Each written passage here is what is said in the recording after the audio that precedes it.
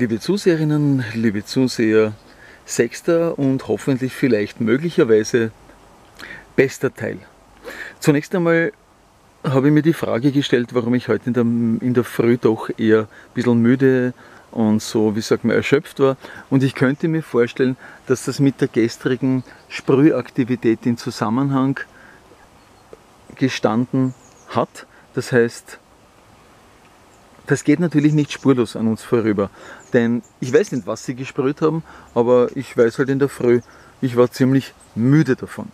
Ah ja, eines wollte ich noch sagen. Ich habe vor ein paar Tagen einen Komposter kaufen wollen. Ihr wisst ja diese Thermokomposter, die ausschauen wie diese Pyramiden mit der abgeschnittenen Spitze. Und haben wir ein Modell dort angesehen und das Plastik, also der Kunststoff war extrem, extrem weich. Also den konnte man mit dem Finger ähm, leicht hineindrücken, also den Finger konnte man leicht reindrücken und Volumen 640 Liter, da werden sicherlich dann 200, 300 Liter schon hineinpassen. Und ich bin gewohnt, wie der äh, Komposter, der ist sehr robust gebaut, der hat hier eine, was nicht, ein Gestänge oder eine Stange, das läuft hier durch, ist, naja, der hat sehr robust, sehr stark. Der hat damals über 600 Schilling gekostet und der war sein Geld wert. Dieser jetzt nicht.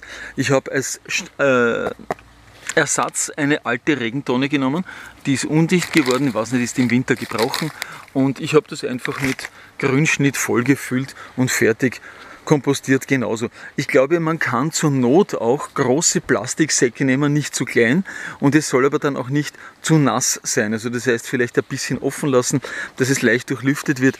Ähm, diesbezüglich muss ich aber sagen, habe ich nur wenige Erfahrungswerte. Ich habe es ein paar Mal gemacht, äh, den Grasschnitt, aber das ist schon lange Zeit her, in Plastiksäcke hineingegeben und war dann verwundert, dass der nach ein paar Wochen so ziemlich ja, verarbeitet war, also wie, wie gut verdaut.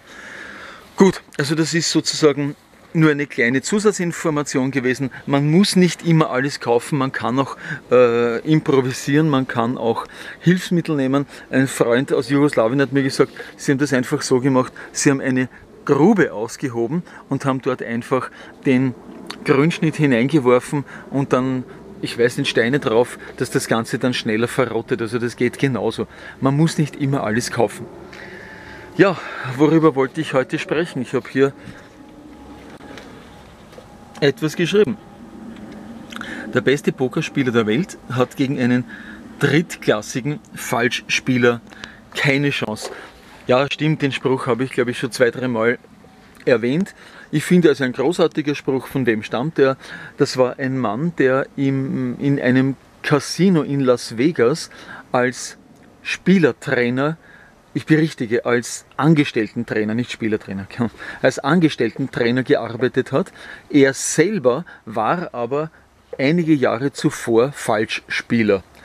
Und der Direktor, er wurde beim Falschspielen erwischt. Der Direktor hat ihn zu sich rufen lassen und hat ihm ein Angebot gemacht. Er hat gesagt, schauen Sie, wir können folgendes machen.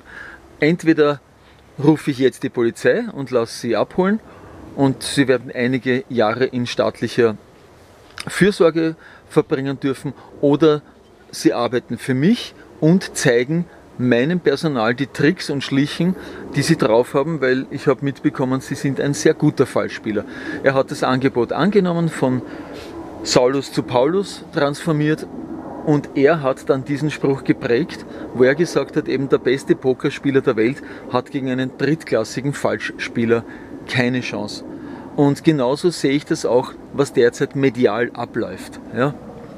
Genauso habt ihr das sicherlich auch beobachtet, wenn ihr in den letzten Monaten verzweifelt versucht habt, Freunde, Verwandte, Bekannte oder wen auch immer, ja, von gewissen Therapieangeboten abzuhalten. Ihr habt ihnen abgeraten, ihr habt alle Argumente auf den Tisch gelegt. Ja? Es ist sinnlos. Ja? Es ist sinnlos. Ihr habt ehrlich gespielt, ja? der beste Pokerspieler. Ihr wart ehrlich. Aber auf der anderen Seite sind die Falschspieler, auf der anderen Seite sind die Lügner, sind die Betrüger, sind die Gangster. Ja?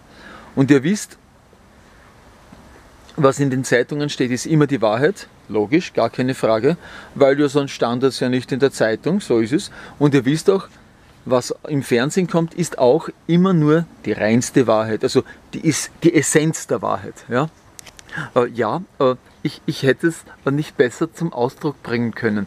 Genauso sehe ich das auch. Und aus diesem Grund bedeutet das für uns was? Gute Frage. Wir haben getan, was in unserer Macht stand. Wir haben versucht zu helfen. Manche haben das Angebot angenommen, die meisten haben es kopfschüttelnd ausgeschlagen, weil sie es besser wussten. Sie waren ja gut informiert. Zeitung, Medien haben ja nur die Wahrheit berichtet. Wir können nicht mehr als das tun, was wir getan haben. Und ich habe das Gefühl, wie ich es auch gestern im Horoskop gesagt habe, die Spiele laufen nicht mehr. Und jetzt kommt das Relativieren. Jetzt kommt das große Zurückrudern. Jetzt kommen die großen Missverständniserklärungen und die Relativierungsaussagen. Wir haben es alles falsch verstanden. Naja, Narrativ ist, würde ich sagen, gestorben. Und was können wir in dieser Situation machen? Ich glaube, das habe ich auch schon mal gesagt. Ich muss mir jetzt leider öfters wiederholen, weil ja, es ist nicht so leicht, jeden Tag was Neues zu finden. Und ich glaube, es wäre sehr wichtig, und die Kirchenglocken geben mir recht, dass wir Verständnis für diejenigen zeigen, die eben geglaubt haben, was ihnen präsentiert wurde, die daran geglaubt haben, ja, die Autoritäten in allen Fachgebieten haben ja recht. Ich meine, sonst wären sie doch keine Autoritäten. Ja, natürlich, das haben wir früher auch einmal geglaubt. Das hast du geglaubt, das habe ich geglaubt. Das ist ein ganz normaler Prozess. Es ist ganz normal, dass man im Erwachen merkt, dass das, was uns ein Leben lang präsentiert wurde, nicht zu unserem Vorteil gereicht, sondern dass das, worauf wir programmiert wurden, für andere einen Nutzen bringt. Für uns natürlich bedingt auch, ja klar, keine Frage. Ja. Wir leben halt in diesem System und wir glauben, weil wir für diesen Beruf, den wir jeden Tag ausüben, Geld bekommen, bekommen wir auch eine Gegenleistung. Ich rede allerdings von Energie, von Lebensenergie. Und der Raub unserer Lebenskraft ist eben deren Hauptgeschäft. Geld existiert in einer energetischen Matrix nicht. Ja? Es gibt nur Menschen, die gelernt haben, für Geld etwas zu tun. Also das heißt, das Geld hat an sich meines Erachtens keinen echten Wert. Was Wert hat, das sehen wir zum Beispiel hier. Ja, Energie beglückt uns alle und Energie fließt, wohin wir schauen.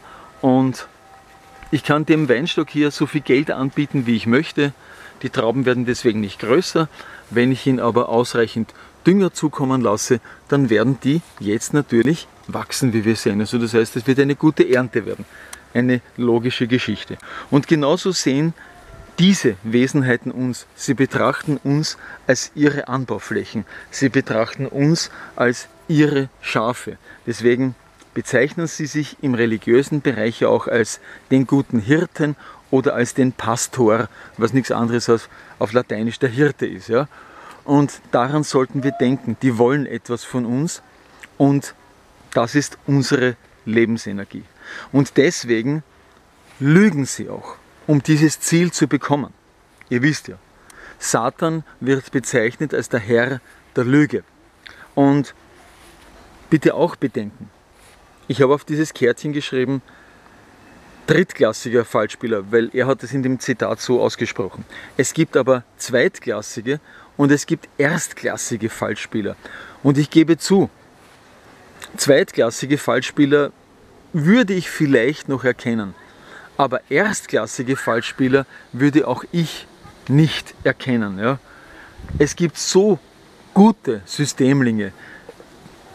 Wie man das so schön sagt, diese Maulwürfe, die oder Undercover-Leute, ja, die eingeschleust werden, die sind so gut, ja, die sind so gut, die kann man fast nicht erkennen und ich will das auch gar nicht können.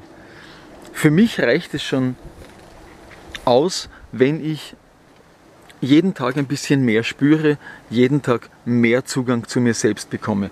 Ja, ich habe ein Leben lang funktioniert, ja, ich habe ein Leben lang versucht, die Vorgaben, die mir gegeben wurden, zu erfüllen. Und ich glaube, das ist eine ganz normale Geschichte, weil wir alle in diesem System irgendwo an irgendeiner Stelle funktioniert haben. Und das ist kein Vorwurf, sondern das ist nur eine Art Erkenntnis.